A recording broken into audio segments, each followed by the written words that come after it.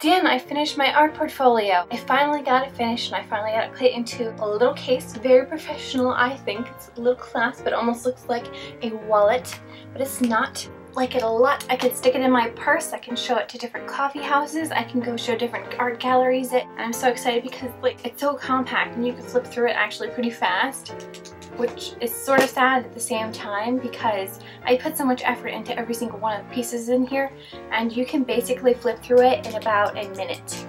And I got the bandage off as you can see right here.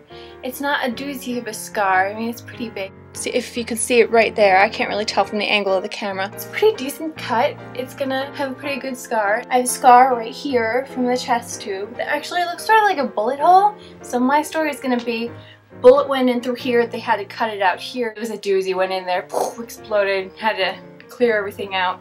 You know what I'm saying. Dan, something that I really wanted to talk about in this vlog was our priorities in life. And I didn't want to take too much time up onto it because I know this is probably going to be a, a, really big vlog anyway because of all the other stuff I have right filmed right now. I'll probably have to cut down a whole ton of stuff so that it's not completely boring for everyone. The priorities that I was thinking about how, especially for me, I've noticed lately that my priorities have changed tons over my life. First priority I can ever remember was when I was really little, I wanted to be a movie star.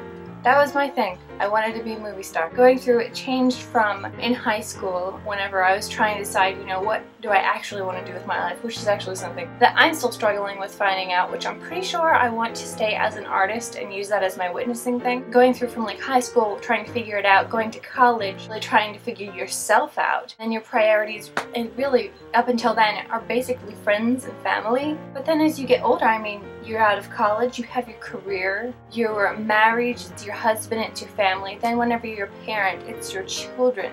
It's like a very maturing process. Everyone starts out with something that's really kind of, it's very me-centered. Really, I think what it is is when you get older, you realize it's not just you.